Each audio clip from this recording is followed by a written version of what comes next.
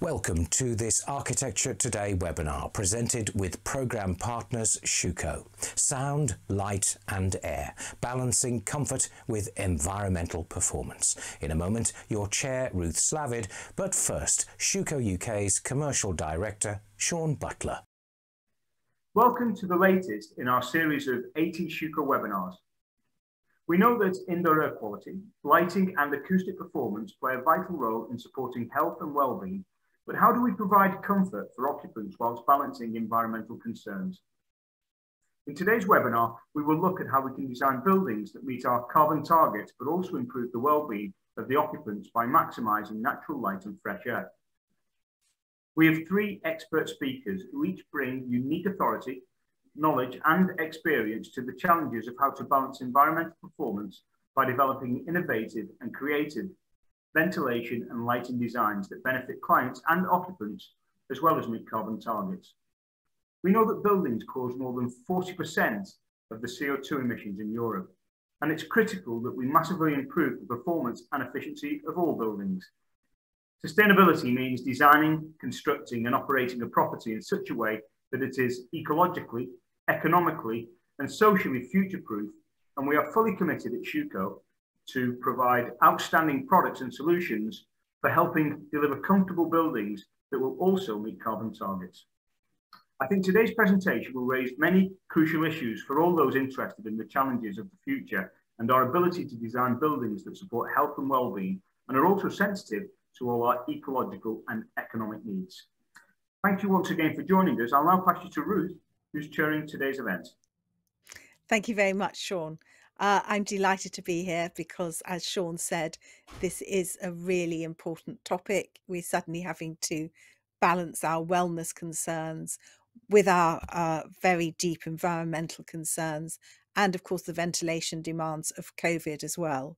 Uh, I think, in addition to that, we all had a wake up call and were reminded um, just how important light and air are to most of us when there was that very justifiable fuss um, about that building at Munger Hall at the University of California when they were proposing a building with almost no windows for the students living in it. And guess what? People didn't think it was a good idea. Anyway, I'm sure that none of the people um, who are speaking to us today uh, would say, would propose anything as daft as that. In fact, quite the opposite. Uh, we've got a great lineup of speakers. Before I tell you about them, I'd just like to remind you all that one of the strengths of these webinars is that we can have such good discussions with our speakers. Uh, we will have a short question and answer session after each presentation, and then they will all come together at the end uh, for a longer discussion. And in those times, I will be putting some of the most interesting questions that you have sent in to the speakers. This, of course, requires you to send in the questions. So, as something occurs to you, don't think, oh, yeah, I'll send that in as a question later, because my belief is you'll forget it. Um, but it would be great to have those questions, and that will make our discussion even more lively, I'm sure. So, we are going to be hearing today uh, from two engineers. Uh, from Nick Cramp at Max Fordham and also from Dr. Shaun Fitzgerald uh, at the Centre for Climate Repair. Um, but before either of them speak, our first speaker, I'm delighted to say, is Alina White, uh, who is an associate at Feilden Clegg Bradley Studios. Alina, over to you. Hello, and thank you very much. Um, I'm going to give you a talk about 3 Chamberlain Square and some of the moves we've made in relation to well-being and carbon we started with very high aspirations with the client uh, to produce uh, not only a landmark building, an amazing site, but also looking at what a workplace would be uh, in the midst of the pandemic, um, how it can be a smart, healthy and flexible, agile space to adapt to future work practices that at this point we don't fully know what they might be. And we're also targeting a net zero carbon building. Uh, 3 Chamberlain Square is in Birmingham it's part of the Paradise development for MEPC. And uh, two of the buildings on site have already been constructed. That's one Chamberlain Square, two Chamberlain Square, and we're three Chamberlain Square next to the um, fantastic town hall and other buildings on site are also in construction. So first question to ask really with any building, if you're considering carbon, is do we need to build? Well, here we have um, an amazing central, central Birmingham site. Um, we're next to some fantastic buildings and the site is currently clear and ready to build on. So we feel that this is a good place to be building a new building. When we looked at um, the start of our design, we considered uh, what makes a great office building and what will make a great office building now and into the future. Uh, we're looking at how you can bring outside in, maximize daylight, create, uh, use natural ventilation and create an adaptable space whilst also making it a low embodied and low operational carbon building. The site that we have, uh, when you extrude it, is almost a cube and we took inspiration from the town hall next door, dividing the building into a base, middle and top. We then pushed the base in to create better connection to the public space around, and we chamfered the top to allow daylight down in between uh, the buildings. And we used different angles to respond to different aspects around the site with a much shallower angle towards the town hall as the views across the town hall are quite critical.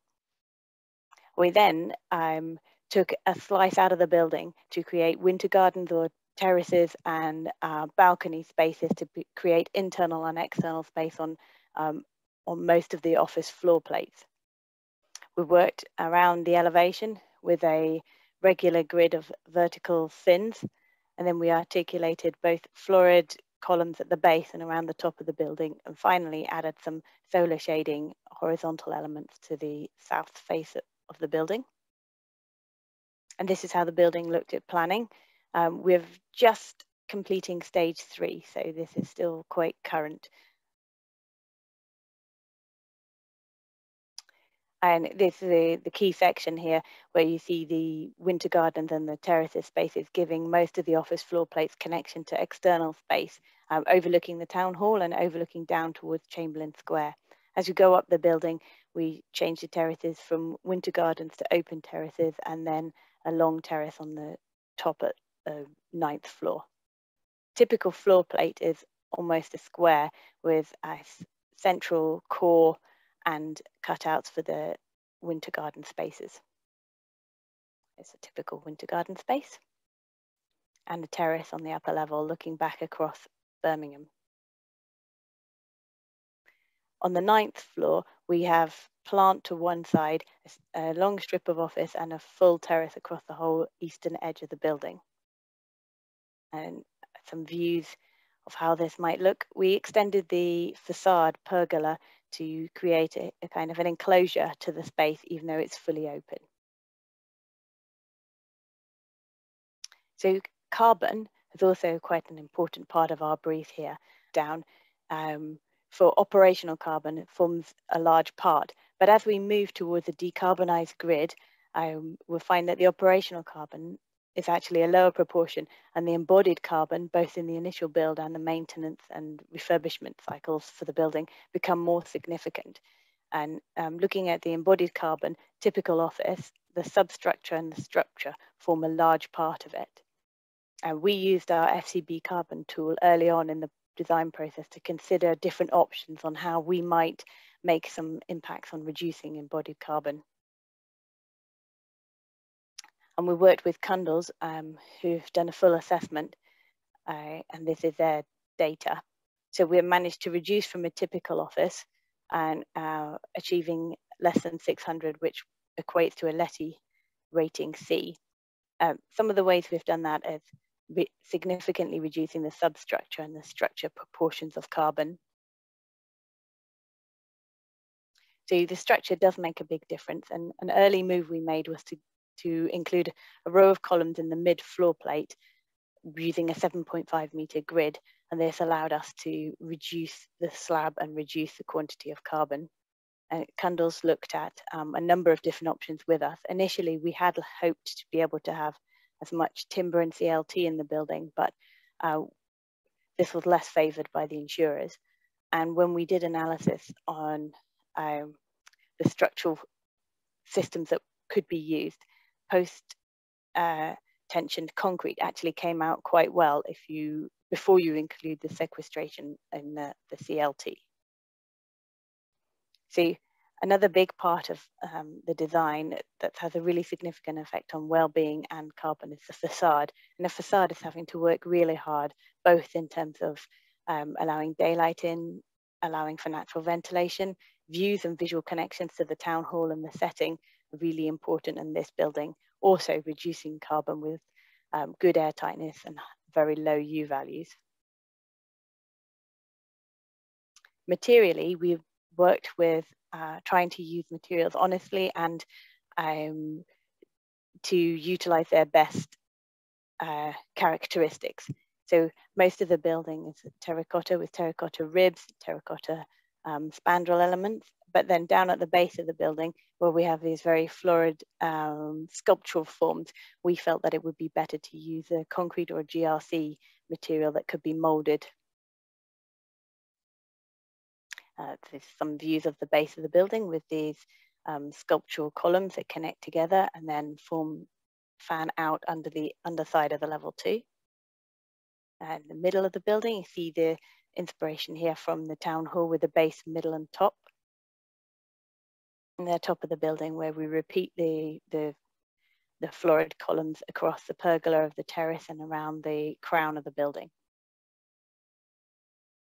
So the typical body of the building is where we have worked the hardest in terms of um, making that facade work for us, both in terms of um, thermal performance, which pushes you towards wanting to have smaller windows, um, but also in terms of view, connection, daylight and natural ventilation. So we've placed the windows higher up on the facade with a solid element at the, at the bottom so that we can get the daylight back into the deep plan.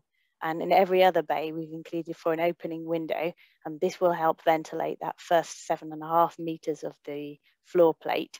And um, although the building is mechanically serviced, uh, as we move forward and Birmingham moves to more electric cars and lower external noise levels, I, opening windows will become more of an option, particularly in the start and the end of the day and in the shoulder seasons. So as a working practice perhaps moves away from fixed hours, having openable windows will, will definitely help reduce the need for mechanical services during those times another aspect on this building that came up um, for um, consideration was whether we should use double or triple glazed. Now, the triple glaze is obviously much better in terms of U value performance and overall energy performance for the operational energy.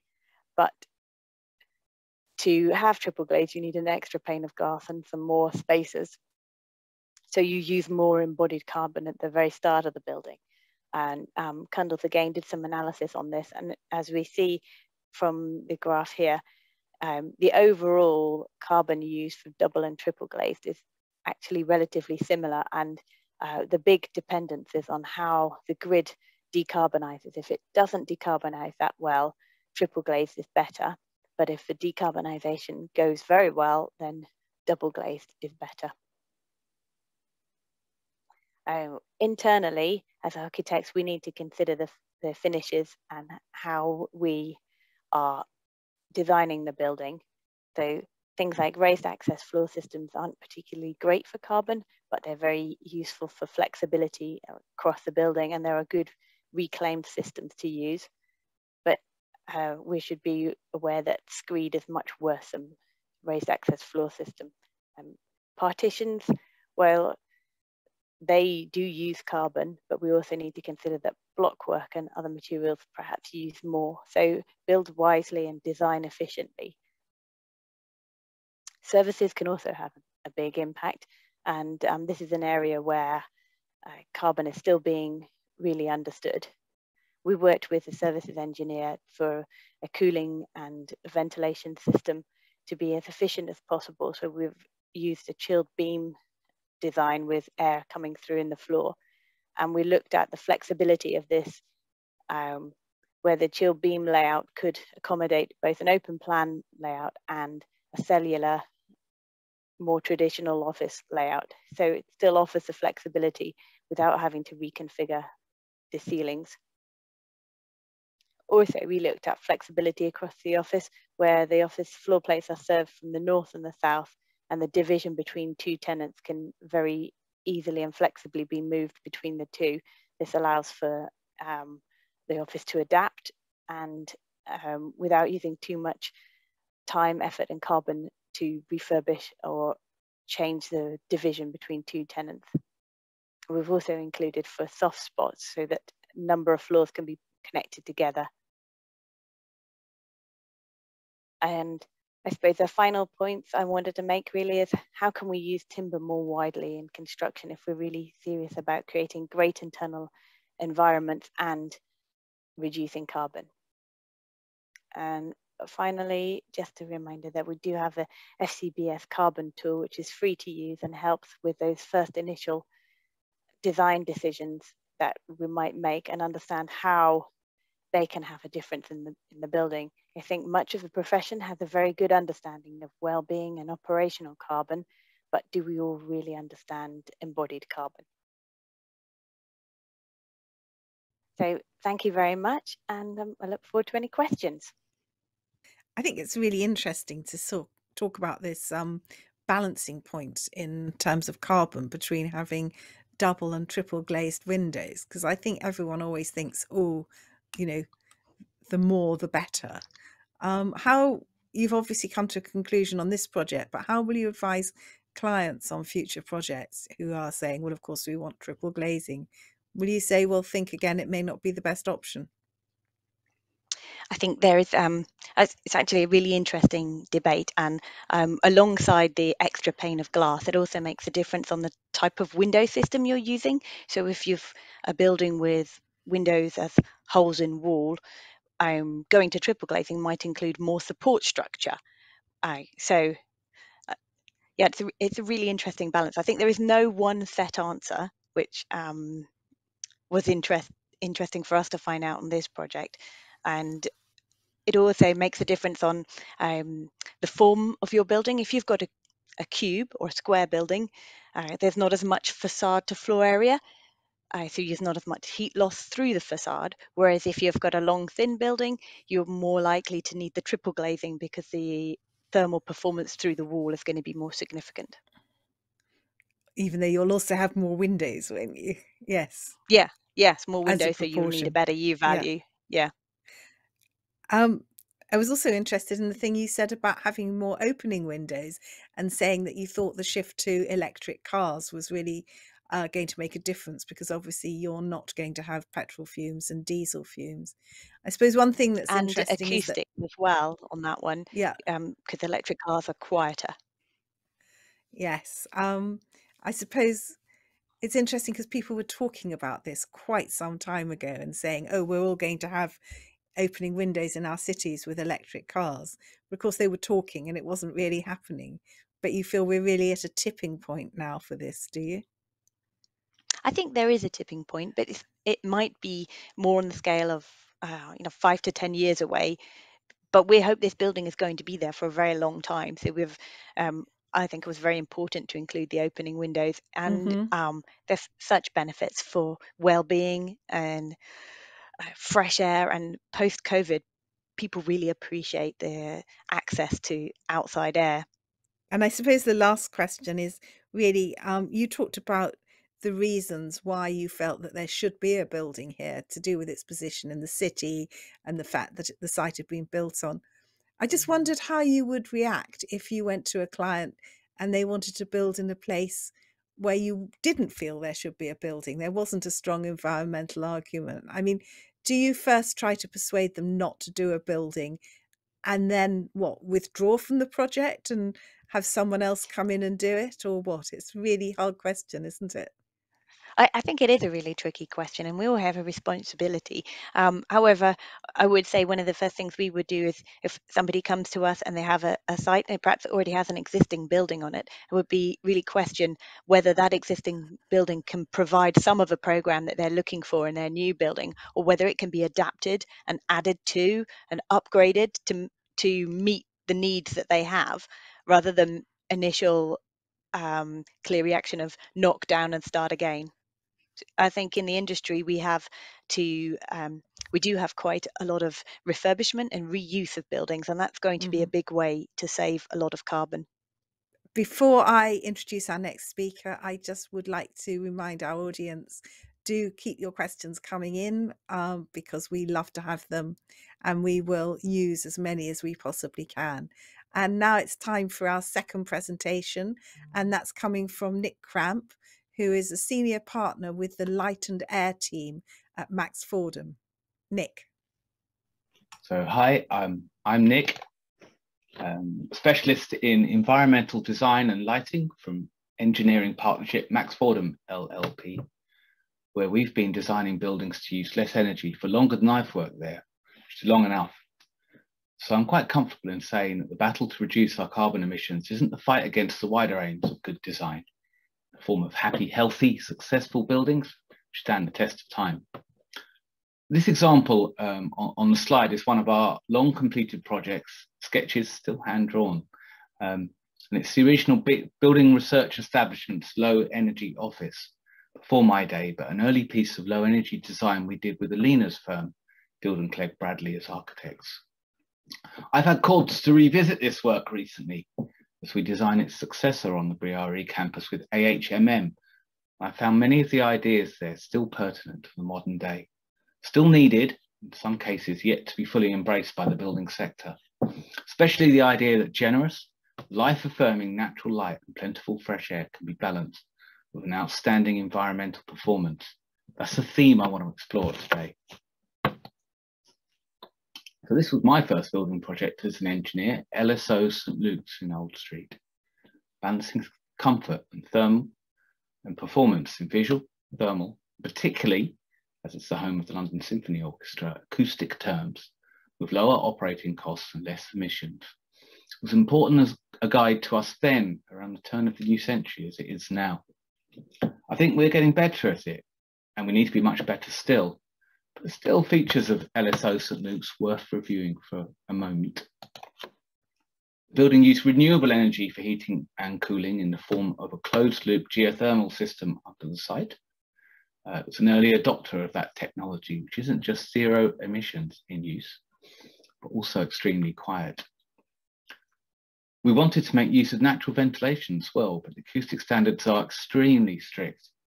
So the secret was to use very large lined duct routes and plenums, which because of their size have a low resistance to airflow as well as little or no regenerated noise. This means we could harness wind power up in the historic church bell tower to drive fresh air through the building, make use of the thermal mass in the form of exposed stonework, and only have to rely on forced ventilation for busy performances. Opening windows wouldn't have been any use because of the noise coming from, from the main road. So getting enough openings into the hall for this to work was tricky, but we carefully integrated them into acoustic walls and linings and left the bell tower open to above I'm happy to report it's an ongoing success. Still working there. Uh, daylight was important too. The hall, shown on this slide, is primarily a working space where the orchestra need to concentrate, stay fresh, be aware of passing time so they're able to sleep well. So I think it was worth the investment in very thick, 50 millimeter, I think, secondary glazing that lets us keep all of the original windows, the views to the gardens outside, and access to sunlight too. Move on to another challenging project now, the Musée d'Art de Nantes in France, uh, where we needed to meet the demands of museum spaces in which light exposure must be limited, fatigue for and noise managed within a historic fabric. I'll explain how we did that. So concerns about light damage saw many of the world's great galleries and museums block up all their windows and roof lights in the late part of the last century all over the world. Decision that I think was reactionary, impulsive, ultimately wasteful because it was impermanent. A large part of our business, Max Fordham's, is renovating these institutions, putting the light back.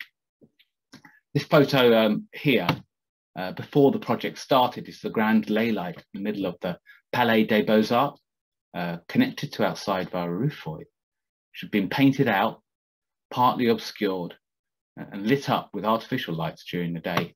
A little bit of sun still gets through at the edges. But what a waste. much better like this after the project restored, providing a free source of light and a focal point for orientating yourself around this big building. There are lots of proven benefits to natural light and to fresh air, and experiential qualities they bring, that vital sense of connection to outside, and health and productivity gains too. There's a body of evidence for those values, um, which I've re reiterated a small amount here. And in this specific case, for this typology, the challenge of museum fatigue, where the absence of changeable light and views see people often become disorientated and tired, modeled by the lady sleeping on the bench there. So we had to address that, and we tried to do so holistically, answering the brief for light, air, and sound together. We need to take a broad view, I think.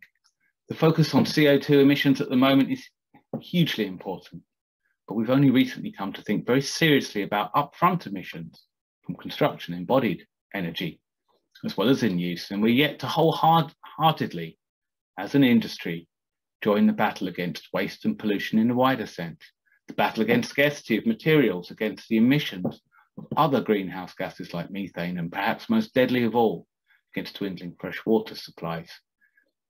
So if we address only the, the, the, the, most current, the most topical issues, as museums did when, when blocking up all their openings a few decades ago, we were throwing things away again. Better, I think, to do things right once.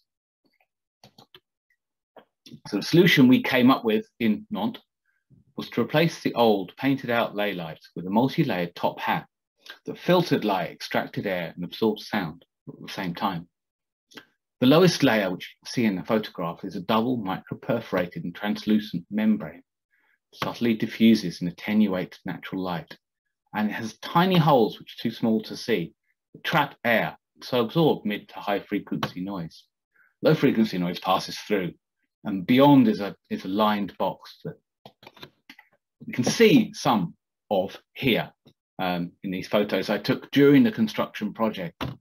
Um, in total, there are two membrane layers, one to catch the dust, one to absorb the sound, a perforate lining for low frequency noise, acid etched glass um, has been installed in the photograph that scatters the direct sun and a roof void um, with blinds that work to adjust light levels as required by the conservation targets. And here's the result clean, reductive spaces are filled with a gently varying light and invisibly managed acoustics. Here's another example from our team's portfolio. Good one, hope. Um, it's about doing as little as possible, substituting radical change with a deeper understanding of what we already have. It's the Queen's Diamond Jubilee Galleries at, Westminster Abbey. Um, the Abbey has a, has a, vast and varied collection of historic artifacts recovered from all corners of the globe over the last thousand years or so. So they need to display them.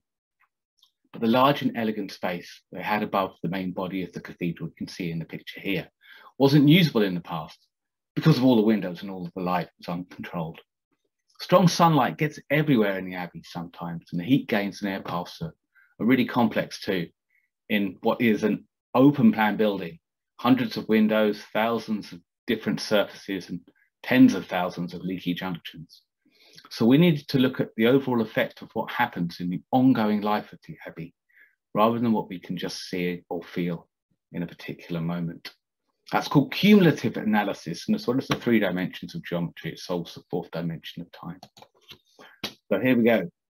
Took three months or so, running up to 80 remote servers, probably not on a renewable tariff, but it should have been. Um, in order to process every ray of bouncing light and study the pressure field caused by the wind too.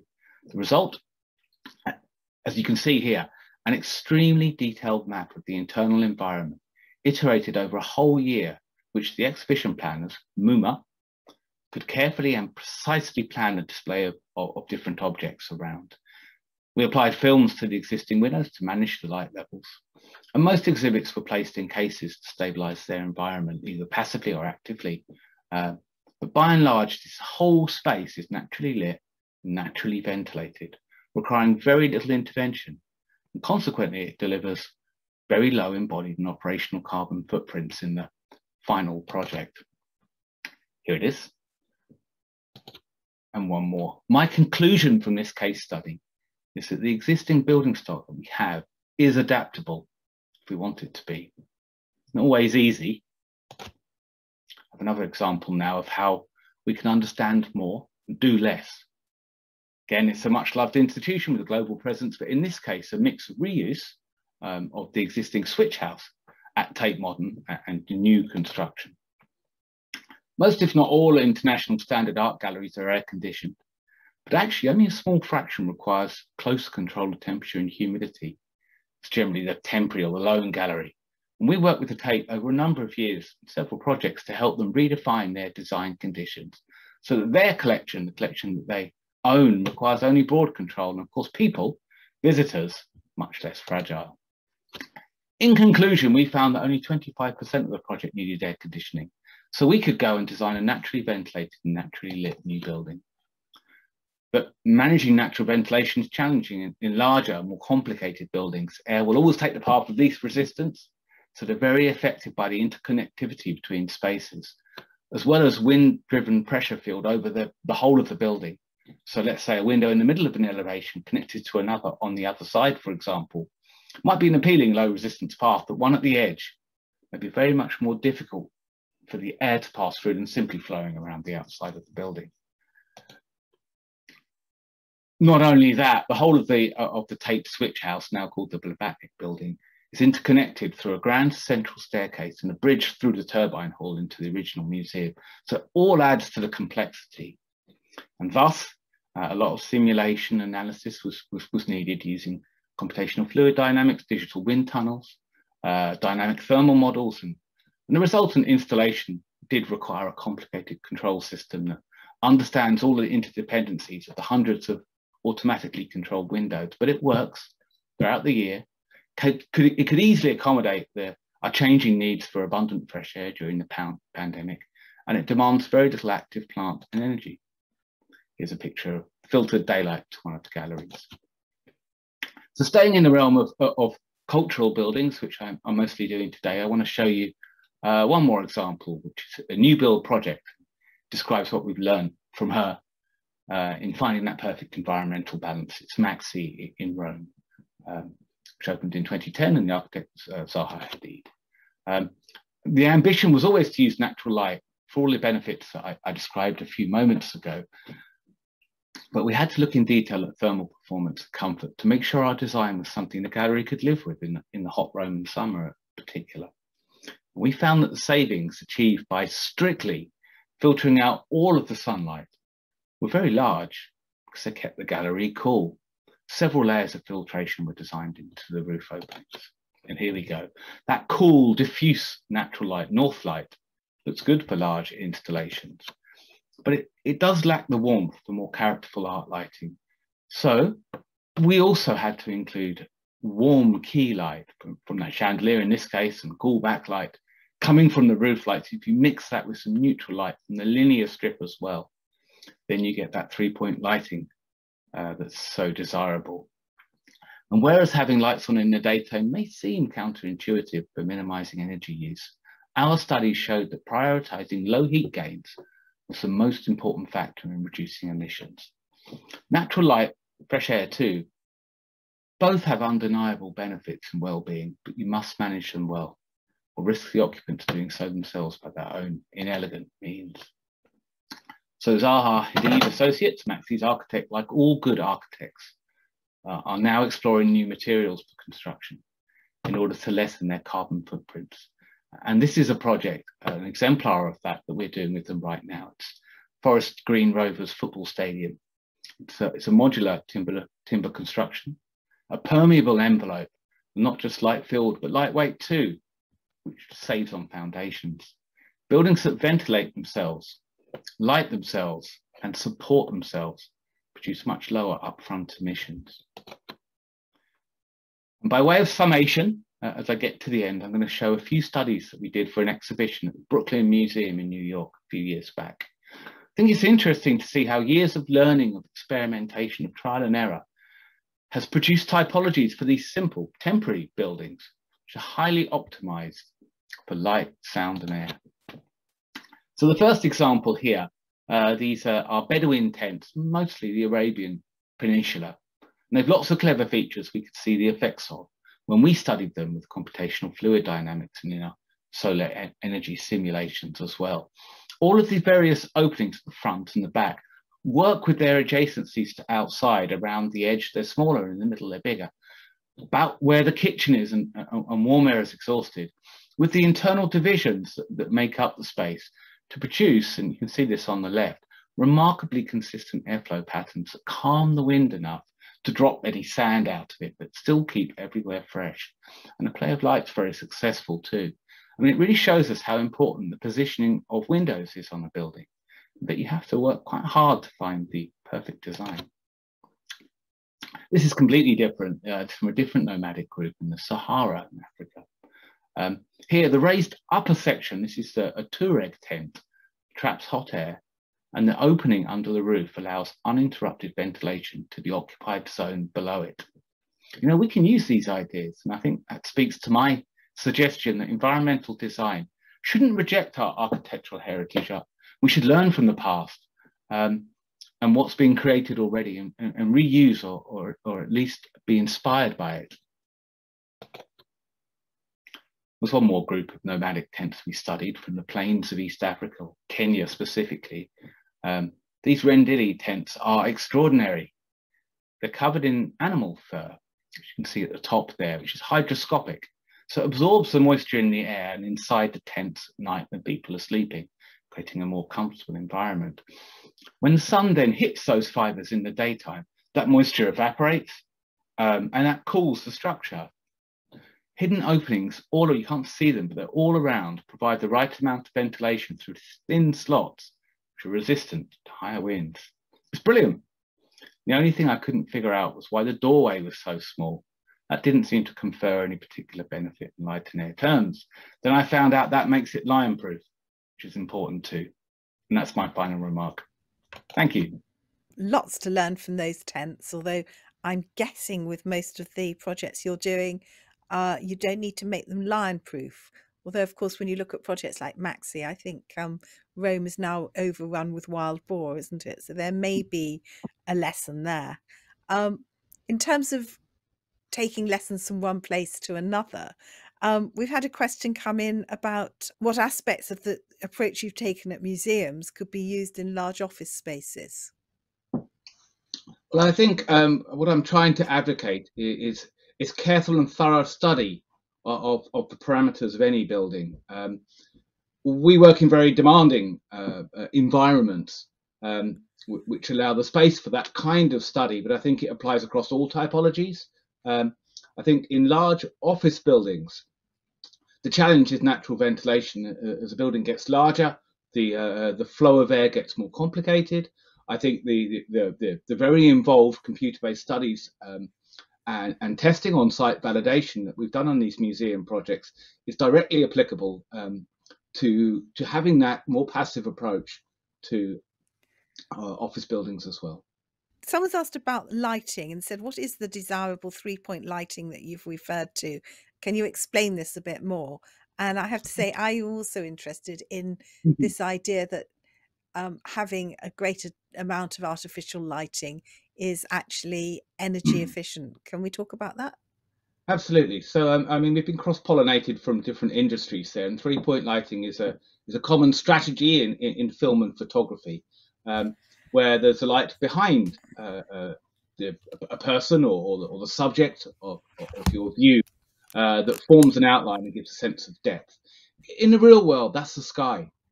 The, the, sky has that function. There's also um, fill light, uh, which um, Leonardo da Vinci, rather elegantly called sfumato, the, the, smokiness that hangs in the room. That's the scattered light that fills in shadows.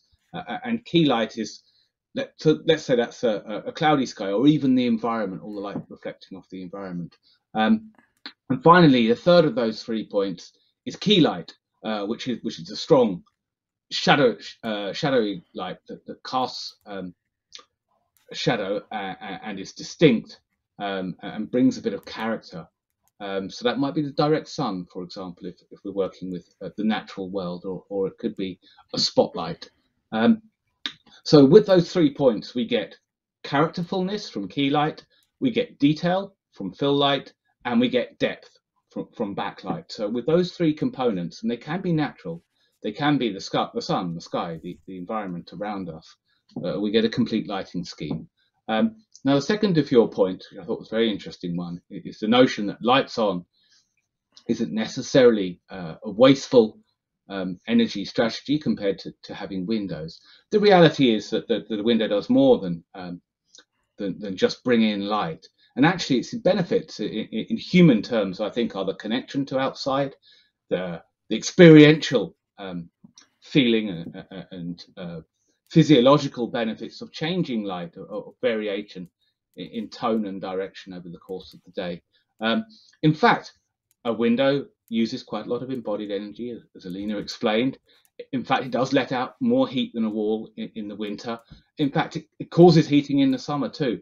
So, actually, when you analyze deep, deeply those uh, th those flows of energy compared to hyper efficient modern LED lighting, it's often the, it's often the artificial lighting that, that comes out the the low en lowest energy choice. But of course, it has none of those benefits conferred by the the connection to outside. So I do see a future where both are, are, are key tools um, in, in, getting the right strategy. I mean, one thing that occurred to me, and if you can just see if you can do this quickly, is I thought it was really interesting um, that you talked about the mistakes that were made in museum design in the end of the last century. And it's always really easy with hindsight to see what those are. I just wondered if you see similar mistakes that we are in danger of making today. Well, I, well, I think there there are some. Um, I think uh, we, we're, we're probably more enlightened. Well, we certainly are more enlightened at, at this moment and in, in, approaching our designs as collectively than, um, than than we were five years ago. And of course, those are the buildings being built. Um, and one only has to look at the finalists in the Stirling Prize uh, recently mm -hmm. to see that uh, embodied energy is largely ignored. Um, so I do think that, that at the moment we are building buildings which are, are creating too much upfront emissions. Um, and, and, often those buildings have been designed and maybe they've been conceived and, uh, and developed over a decade um, uh, and are coming to be built now. And I, I, think that's wrong. I think it's very difficult to, to halt projects, but we're certainly building buildings that are full of steel and concrete that have enormous spans yeah. and cantilevers um, that are very damaging to the planet. And they were built with good intentions um, to serve a need, to serve what, what we perceived as the, the best choices at the time. So yeah, I do see some some of those mistakes happening now, and I think they mostly concern emissions, upfront emissions, um, that they're only becoming conscious of now. I think uh, a few years ago, and I was guilty of any, everyone advocating exposed concrete soffits. Um, yeah. The great benefits that, that they that they bring in in, in cooling in, in the summertime when associated with natural ventilation. But actually, concrete is, is a hugely polluting material. And, um, and other choices, I think, are, are, are, looking wiser now. We'll have a chance to talk again at the end. Um, before I introduce our final speaker, just a reminder do keep your questions coming in, please. Um, but I'm delighted now to introduce Dr. Shaun Fitzgerald, who is director of the Centre for Climate Repair at Cambridge. Shaun, over to you. Hello. I thought it would be a topical thing to talk today about COVID and the climate, or actually, in terms of a longer title and a bigger exposition, is why improved ventilation is actually synergistic with, rather than in opposition to, progress in energy efficiency in the built environment. So I thought it would be very helpful to first of all look at where we are today in terms of emissions forecasts and the role of the built environment. So this is a chart uh, that's been circulating for about 18 months and it's sobering reading uh, in that if you look at the global carbon dioxide emissions, the business as usual trajectory really says there isn't going to be much of a change, so pretty much plateauing.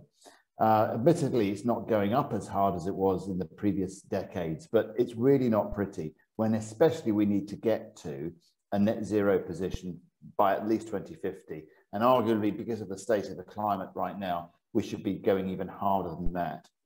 Um, so what can we do about this, about the emissions that we need to sort of reduce in light of the fact that we also have this horrible thing that's emerged over the last 18 months, namely COVID.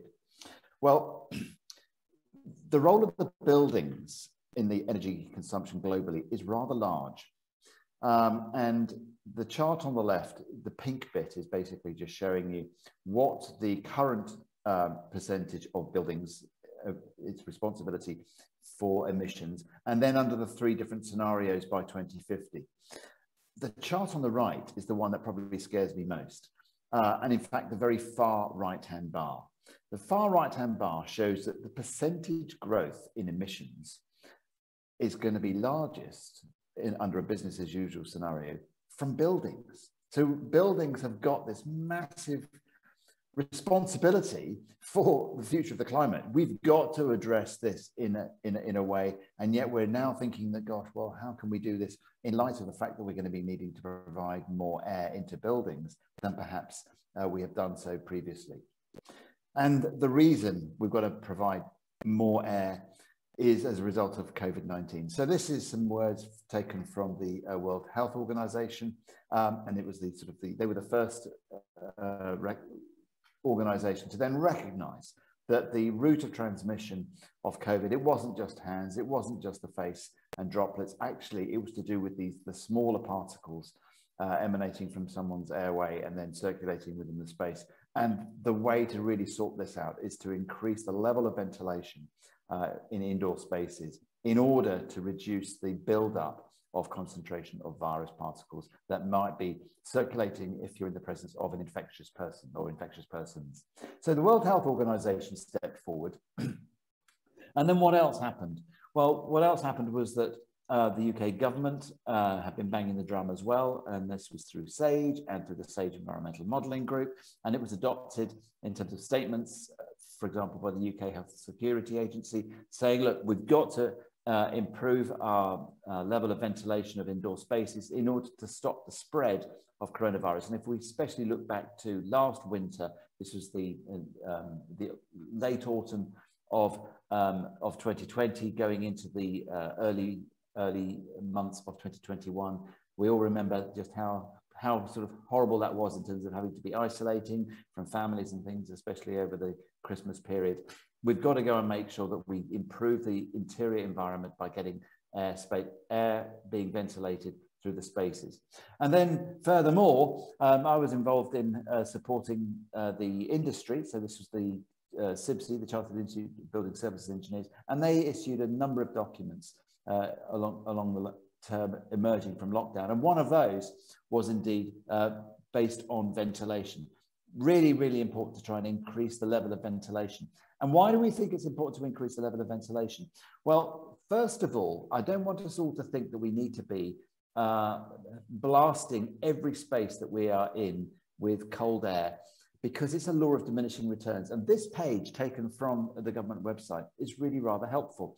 See, I've circulated in red, and it says what we really need to identify are poorly ventilated areas. They're the ones that need to be addressed. It isn't the ones that are well ventilated and then making them even better. Oh, if you can without sort of big penalties, fine, let's do that. But the real, real return in terms of effort is going to be on identifying the poorly ventilated spaces and then addressing those. That's how we're going to get the biggest impact in terms of um, COVID management going forward, and indeed other respiratory diseases as well that might come, uh, come and hit us in the future. And this is uh, some data that I took some time ago, but it's really, really interesting. The statement um, in the current guidelines um, are that multi-occupant spaces that are used regularly and, and are poorly ventilated, and by poorly ventilated, we mean above 1500 parts per million of CO2 uh, consistently. These should be identified and prioritized for improvement.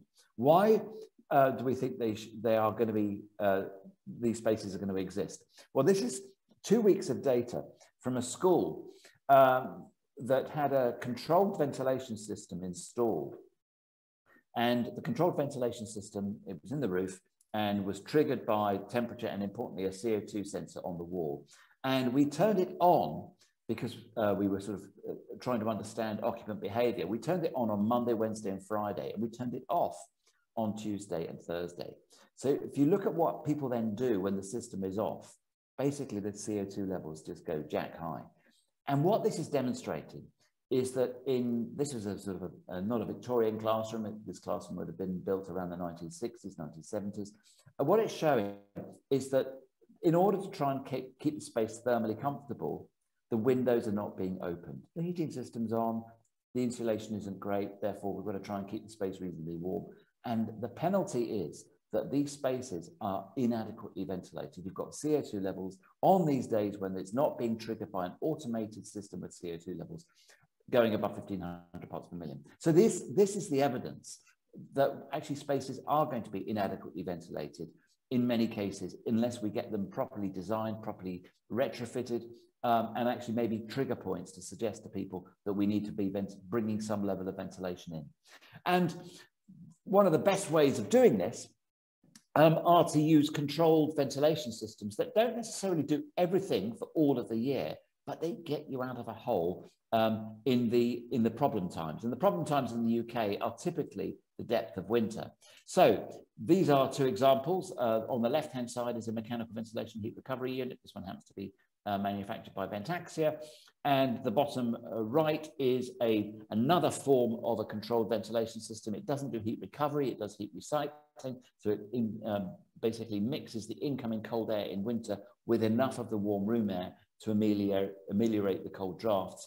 But the principle of, behind both of these are that we're using the heat gains within a space to try and manage the temperature and certainly cure the cold drafts. And therein is a really, really important point in that we're not using radiators or heating elements to cure a cold draft. Both of these uh, sorts of ventilation systems are using the heat gains, namely from people IT lights and maybe even a bit of solar, um, to actually go and bring the temperature of the space, bring the temperature of the air up in the first place. And then the heating is only needed when, frankly, the heat gains in the space are insufficient to maintain an ambient of, say, 21 degrees centigrade. So it's possible, therefore, to have improved ventilation, especially in the winter, in other words, addressing the inadequately ventilated times, and it's in the winter when people are going to not be as uh, ready to open the windows. Having these sorts of ventilation systems in place, which are controlled with a CO2 sensor, will actually allow the spaces to be adequately ventilated. And in fact, if you've done some building work to put these sorts of systems in, then it's very likely that we've actually addressed the environment and the fabric of, of the building as well, and therefore made the building better insulated. So we're not leaking as much heat through conduction, and we're allowing the heat gains in the space to actually manage the air temperatures.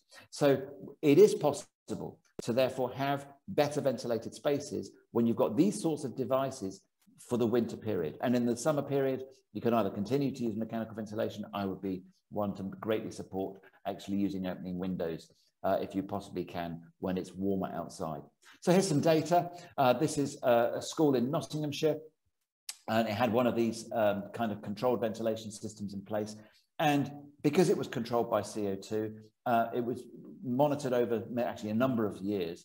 But this is a, a showing, um, showing a winter period where the CO2 level just never exceeds 1500 parts per million, the daily average never exceeding 1500 parts per million. That's what it was controlled to do. And you could walk into these uh, classrooms, there are 30 children in a 60 square meter place. You can do this. You can get spaces that are well ventilated without cold drafts. And the most important thing is that we can demonstrate that we can provide controlled ventilation and air quality. What does it do about the energy? And this is data from, from a couple of schools actually, showing that uh, you can actually get low energy schools. So these are the two bars on the right hand side, the green bars, much lower than the typical practice or good practice back then from the CIBSE guides. And this was as a result of making not only the building fabric reasonably well uh, insulated, but most importantly, the ventilation strategy being used so that we weren't having heating elements, heating batteries or radiators to preheat the air in the winter. We were using the heat gains from people IT lights and solar to do the job for us. So absolutely you can do this. And then going forwards, um, it is most likely that buildings of the future are going to not just use mechanical ventilation. They're not just going to use natural ventilation. They're going to use a combination of the two. And this is a well publicized uh, building um, this is the Apple headquarters in Cupertino. You can find some details on the internet, but this is an example of a hybrid building basically uh, it's in the south, um, south San Francisco Bay area. And then on many, many days, the building will be ventilating naturally uh, with, the, with the dampers being opened and controlled on CO2 and temperature sensors. But when it gets particularly either hot or very cold outside, uh, then the building can close up and use mechanical ventilation heat recovery in order to therefore not have lots of cooling and lots and lots of uh, energy being expended that way, doing heat recovery in cooling mode, as well as, of course, heat recovery in heating mode as well. So these kinds of buildings we're going to see more of. That's one in, uh, in the United States. This one is in, one in London, closer to home. This is the Bloomberg headquarters, and it won the RIBA Stirling Prize as a result of the energy efficiency and the sustainability awards. We are able to provide well-ventilated spaces that are very low energy by getting things right. So in summary, um, I wanted to uh, sort of re really emphasize the fact that controlled ventilation is necessary in order to avoid poorly ventilated spaces. They're the Achilles heel that we need to address for COVID.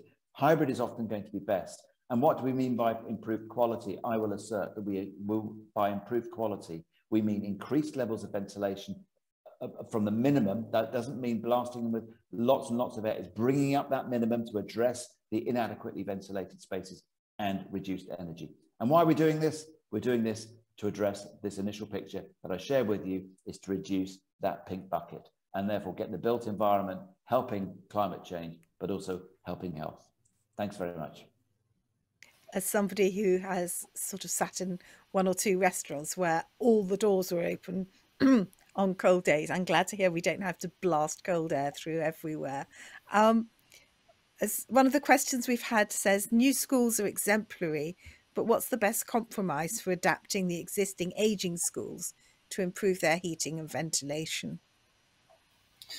So it's a really important question, actually addressing the existing building stock.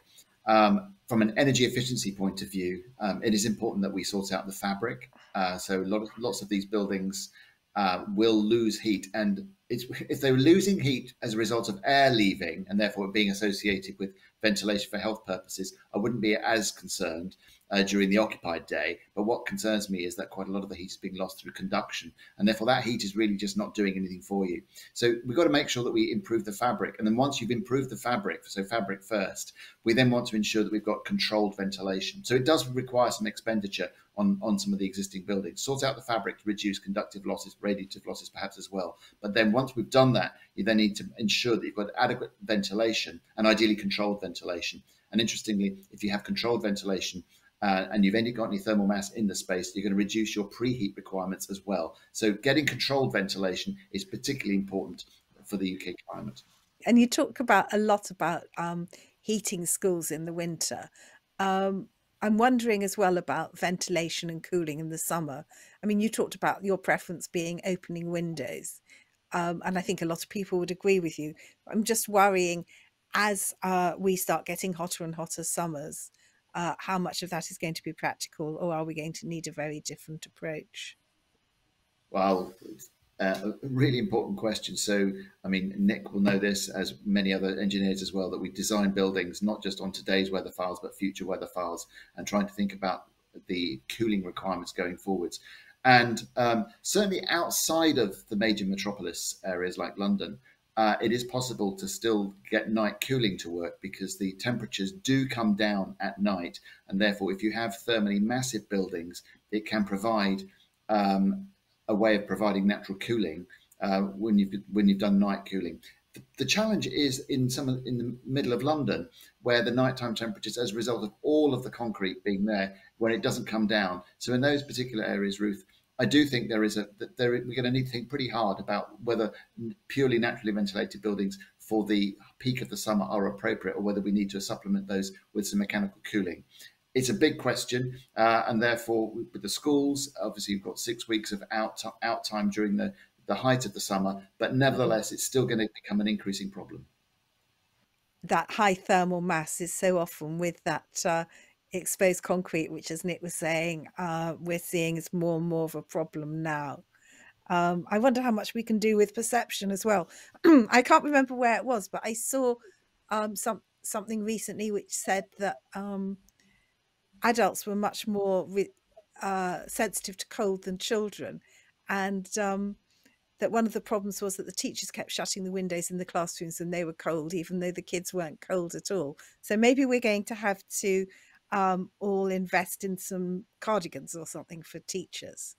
Uh, anyway, I think we're now at the point where I would like to invite our other speakers to um, come back in and we will look at some more general questions as well as some of the questions that have come in.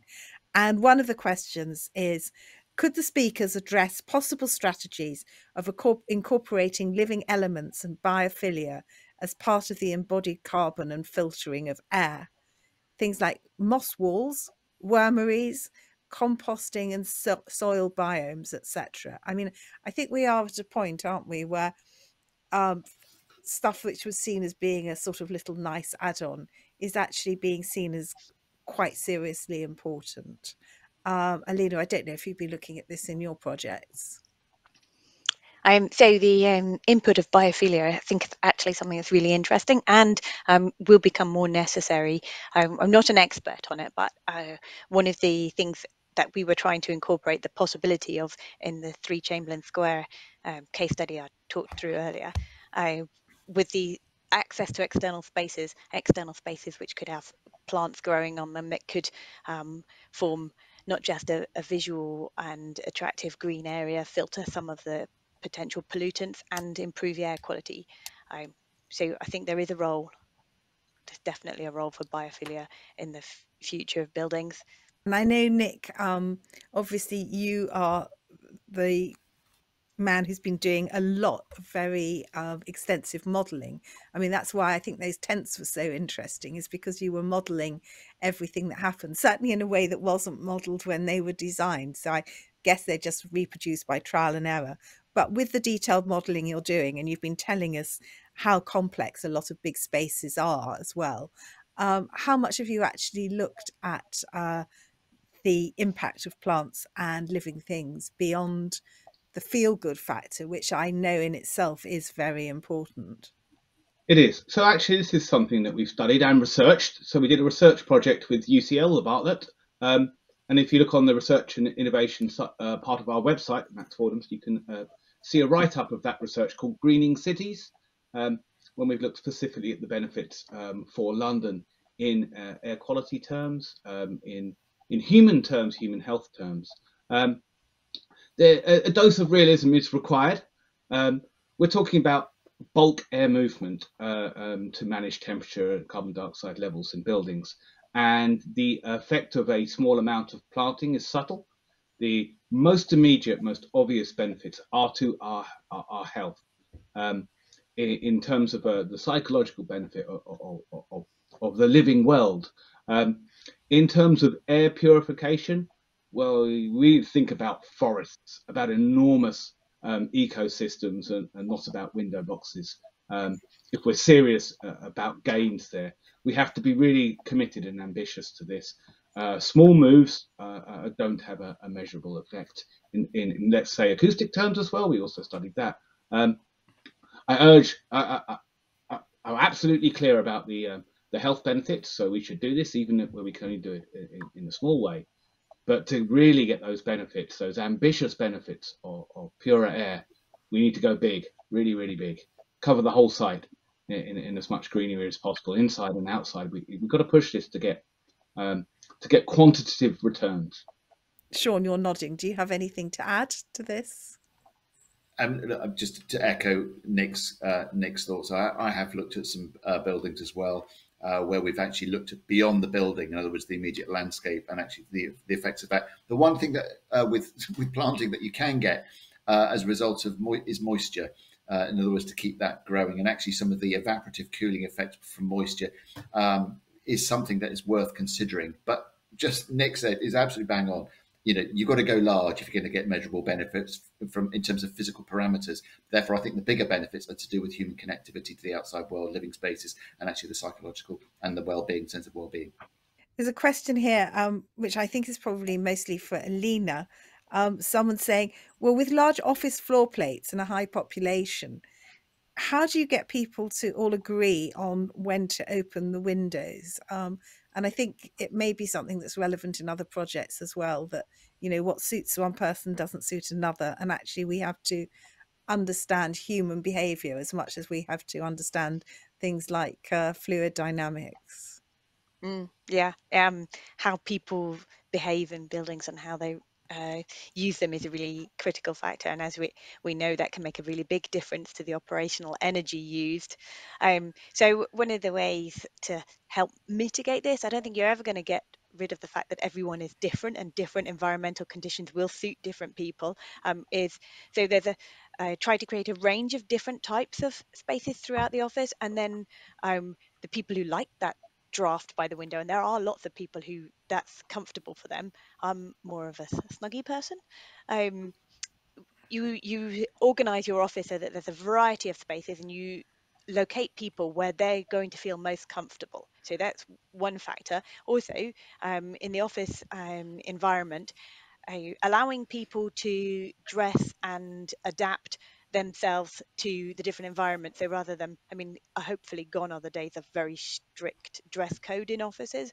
Um, but I think some flexibility, as you mentioned earlier, the extra cardigan, or um, providing chilled water, or you know, diff- different factors like that can help everyone feel most comfortable.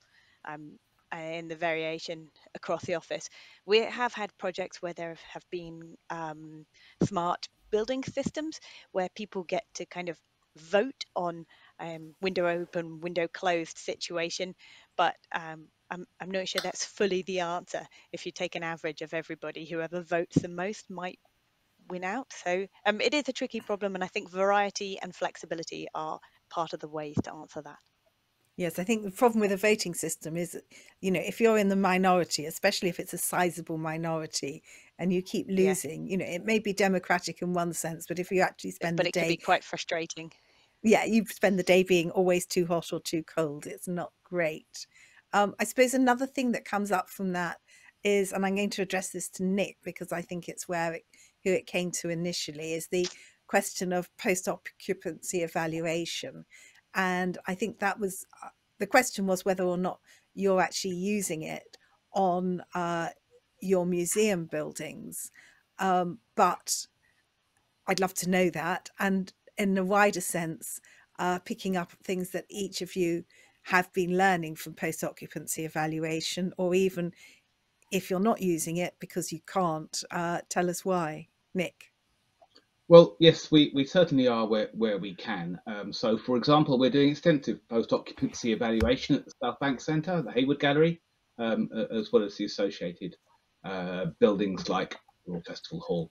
Um, we're also doing, we also have been doing that at the Tate, or all four Tates, in fact, um, and not just Tate Modern. Uh, and we learn a great deal. Um, now, actually, trying to try to combine that with the, with the earlier question of, of user control of ventilation. Um, what we have learned from, from following buildings is quite interesting. Well-designed systems, and I think Shaun was talking about a, a, form of automatic control that was very effective carbon dioxide monitoring, temperature monitoring.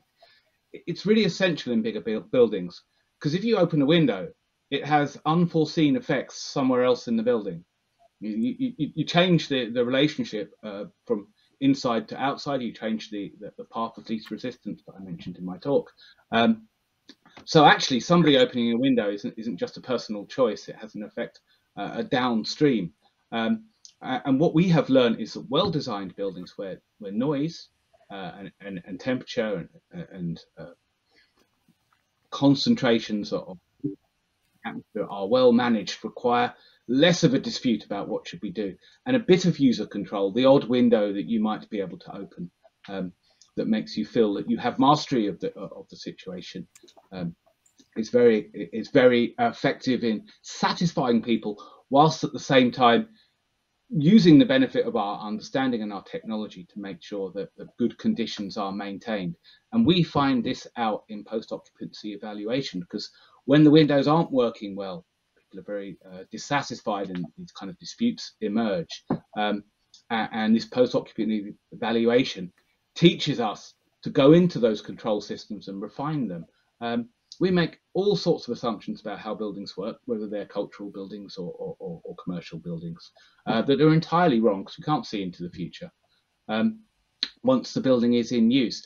And actually, and in particular, uh, um, air systems need to be retuned to the to the real life of, of, of the building once it's complete uh, and once it um, is in everyday occupation. Um, and in doing that, you remove this this contest between user control and, and an effective environment for everybody. I'm going to go on to Shaun now. Um, and obviously, I think a lot of the work you have been doing has been post occupancy evaluation, but I just interested in what you can learn from these things. And um, also, we've had a question, and I think this is really interesting that says um, modern teaching practices, um, you know, certainly in the early years, use outdoor spaces as classrooms across all seasons, um, which leads to classroom doors being open all the time during the school day. Can heat gain be used to avoid drafts in such situations? I mean, I guess the answer is no. If you're going to have the doors open all day, uh, the cold air is coming in. I, I suppose the answer must be designing the building so it doesn't penetrate at least beyond that classroom. But I don't know what you've got to say about that. I mean, you're you're completely right, Ruth. That if you leave the doors open on a ground floor classroom with early years, so reception year one, um, you know, the cold air is going to come in, right? Unless there's a wind blowing and it's the other way. But look, in all, in, yeah, yeah. invariably, the, the air is going, the, the cold air is going to come in, and the critical thing is to therefore to try and isolate that classroom, and make sure you, then you don't have the linkages with other other rooms, as Nick alluded to. That the more complicated the typology of the building, then generally speaking, the more controlled the system needs to be. I'm not saying fully controlled because you still want to give people some opening windows uh, to give them a sense of control over their very local domain, but it must be limited so that you don't mess up the rest of the building. That's critical. Uh, but for a single classroom, um, the principle of using the heat gains in the space is, I think, important thinking about energy efficiency. And the way to do that is generally uh, if you can bring the air in at a high level, if, and this is a mechanical ventilation system, if you're going to bring the air in naturally, you want to bring it in at high level so that it's got a chance to mix with the air already in the space. That is not uh, available if you've got you know bifolding doors and they're completely open in the winter. So whilst those doors are open, you know it's going to be I can't use the heat gains in the space to ameliorate cold drafts. I think another thing that's been very interesting. I mean, we talked about that thing about artificial, you know, artificial lighting actually being a good energy um, solution in in some buildings. I mean, we've talked about um, that idea of um, double glazed windows often being a better solution in terms of embodied carbon than triple glazed windows. Um, and I, again, you know, going back to those tents that Nick showed us, which were fascinating when he analysed them. But of course, um, the reason they work is because they have got probably centuries, certainly decades of trial and error, and people keep reproducing the same thing again, knowing it works, even though they don't know exactly why it works. Um, I wonder where all this sort of calculation it, you feel Alina, this is who I'm coming to, is actually placing you as an architect because it seems to me that there are an awful lot of things where you can't just set out and do your design using your gut feeling because frankly your gut feeling is wrong and i just wonder how you feel about that and how how this is changing the way that you work. Actually i think it's really important that um, we work with a team of people we work with um, other consultants and in each project you might have a gut reaction of how you you'd think you'd like it to uh, perform and work out but you listen to the rest of the team around you um, and mm-hmm. it's okay to adapt and change t- um, with their experience and so work together I think is the answer on that. Um, and then just going back on the POE point from before, we do do yes. and have done a lot of um, POE, particularly on schools, um, and that's um, always been very interesting and feeding feeding that back and particularly to the sort of the typical classroom environment and um, actually links in with many of the things that Shaun has, just said about ventilation and windows and um, occupant control. Um, so all of those things we try to feed back in. And again, as an industry, I think it would be quite good if, if a lot more of that POE was more publicly available from everybody so that we can all learn from lessons um, as the environment changes, as the designing context changes, as um, we all understand more about embodied carbon as well as operational carbon. Um, there's quite a lot of shifting criteria here. And if we're going to really reduce carbon, we all need to work together. A question that's come in which says, I'm delighted to hear from Nick Cramp that natural light is back in museums and galleries, but would be interested to know how past fears about UV degradation of exhibits have been overcome. It, specifically, UV is relatively easy to manage. Um, so, for example, um, in, in laminate glass, which, which most museums would have, um, generally museums aren't full of uh, picture windows um, or, or, galleries because you just look out the window, you know, it'll be bright and interesting and you know, detracts from the, the, the, curatorial experience. There tends to be roof lights and they tend to be quite large, um, in which case they're probably made of laminated glass for safety uh, and the PVB uh, uh, interlayers in laminate glass are very, very effective at, at, filtering out you know 99% or more of UV light. Um, if, if it's not laminate glass, um, it's quite easy to get films uh, which can be applied to the glass and, and can, can filter out the UV too. So uh, we also have devices that measure UV uh, uh, within buildings, so we can we can go into the existing building stock, identify a problem, and put up a film. Uh, neutral films, you you wouldn't see them, you wouldn't know they're there. In fact, it's a real difficulty for us when we're surveying in existing museum buildings to work out if there is a film on the glass. We have to look at the edges, look for tiny little um, uh, cracks and, uh, uh and peeling elements to, just to know it's there. So it's quite easy to address UV. The, the, actually, UV is just a wavelength of light, and really the reactions that are occurring on the surface of, of these works um, are, are, no different in the, in the UV spectrum as they are in the visible one. We can't keep out visible light, but what we can do is manage it to, to appropriate levels. Um, now, that does not mean that we're not damaging things. It means that we are arresting the damage of, of all of those exhibits to what, what we've decided is an acceptable extent, extent um, and every so often they, they might need uh, conservation work. Um, so that's how we're managing UV and light. We're managing UV quite easily. Um, and, and more more challenging is, is managing the broader spectrum of electromagnetic radiation, which we are doing by study, um, uh, by research, excellent research done in the um, in the 90s at the National Gallery um, on, on the fading uh, under light, natural light of of, um, of artworks and paintings in particular, uh, to set ourselves targets, internationally acceptable targets, and uh, and filter the incoming light accordingly. I know there are places where things are incredibly sensitive where you know you go in and um, there's a sort of curtain over something and you just pull it back and have a look at it. And i think the V&A have a carpet that they will only expose for half an hour a day or something. Um, but I, th- I, think one of the things that you um, brought up was that you said that some of the very highest standards of control not just of light but of everything are only needed in part of a building. You know, you talked about Tate Modern and you said, well, only part of it is going to be a travelling exhibition, and a lot of the rest of it can cope with less stringent circumstances. And I'm just, I mean, again, with Alina, we were just talking about, well, if you're a cold person, you go and work in this particular part of the building. And I just wonder how this ties in with our feeling of wanting our buildings to be very flexible. You know, that we want to look at our building and say, well, we can do anything here or there. Um, I don't know, Nick, whether you feel that we are sort of locking it down a bit because actually you've only got this one part of the building where you can do certain very demanding things. Well, this is a very good thought. Um, actually, the, the, we can go even further. Asymmetry, which I'm a great advocate of, um, has health benefits for us too. Uh, you know, in a car journey for ages, you want to get out and stretch your legs. You actually want to stretch your legs. Otherwise, we'd be getting up in the night and stretching our legs every so often. What you want is a bit of variation. You want a different environment, some different air movement, and, and, and a, a, different visual environment for a moment or two. And that, that, that changes our cortisone levels. That gives us relief.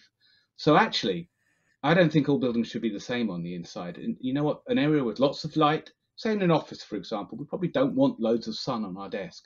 but we do want to be able to go somewhere where there is loads of space. For example, if you look at the work of FCB and Alina, you'll see that that's how they're designing these spaces with lots of uh, different um, experiences within them. Also applies to the museum environment, as you described. Some objects have fugitive pigments within them, red lake and so on, and have to be kept hidden and only exposed very occasionally. Um, other works, uh, perhaps made at the same time, even with the same materials but in different colours, would be very stable and could be put somewhere else in a much more dynamic environment. Um, as long as we understand what our needs are, I think we can do far less control. We can have spaces a little bit cooler. For example, outdoor classrooms, they, they work and, and you know, and, and they're not warm uh, most of the year and you know, perhaps they're a bit wet as well. Um, they're very effective. I think we need to be adaptive uh, us and, and the way we use buildings. Alina alluded to that, and so Shaun earlier. The the need for us to to to have moving expectations, um, and perhaps be cold or, or, be in an area of lots of air movement or an area with less air movement or higher brightness and lower brightness too. Uh, admittedly, we don't want people to freeze, but actually, there are also uh, benefits regarding providing some temporal variation in some of these physical parameters, actually providing a more stimulating environment. So if you actually look, you know, what do we really mean by connectedness with the outside? It is to do with stimulation as well. And actually this temporal variation can sometimes be uh, really very helpful to the way that humans behave. So indeed, some of these benefits have, uh, have affected the, um, the, the design principles for some of the projects that I've worked on. And it's these additional stimuli uh, and therefore the increased productivity associated with this, which is overridden um, sort of the, the, the, discussions. And in fact, the energy savings about, for example, moving to a naturally ventilated building have actually played second fiddle to some of the better, some of these more, the, the environments about trying to provide a better environment for people to work in. And I think another area where people have been talking or asking is around materials. Um, I mean, I'm very interested in the whole thing of timber. Um, and people are saying, how are we going to actually be able to use um, more timber on our buildings. You know, Alina alluded to it, Nick talked about it. And on the other hand, of course, we've got this thing which Nick also mentioned about how we all thought it was great to get, you know, night cooling, great thermal mass from exposed concrete. And now um, we can't, or we don't think we should. Um, where are we going with all this? Just in the last few minutes we've got, I'd just be interested to hear where you'd like us to go with materials, um, what you feel the issues are, and any way of overcoming the recalcitrance of the insurance industry. Alina. Okay. Um, well, I do think we should be trying to use more timber um, where it's where it's appropriate, um, and um, so timber might not have as much in the way of thermal mass, but thermal mass is most useful when you have the opportunity for night cooling. So there are many building types where night cooling might not really be an option. Um, so we've got to balance out.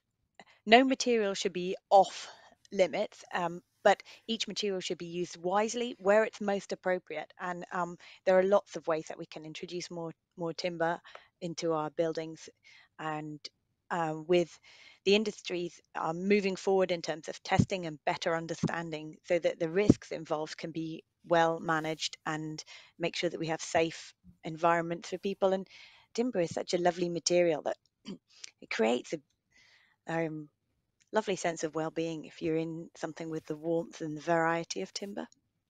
Well, speaking uh, first of all just about thermal mass, as that was a good point uh, raised. Um, there are many alternatives to, to concrete. Uh, some have been around longer than buildings. So a cave, uh, our original home, for example. Stone is fantastic in thermal mass, so is brick.